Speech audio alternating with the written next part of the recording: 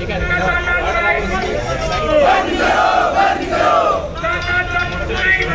नहीं चलेगी नहीं चलेगी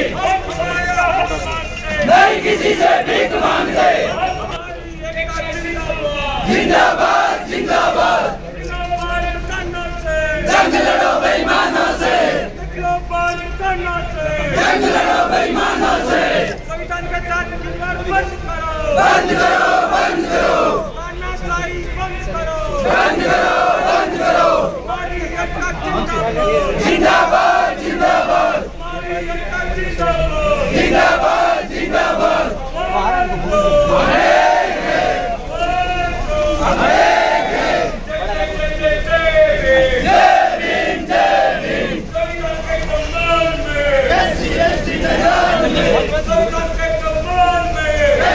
Yeah.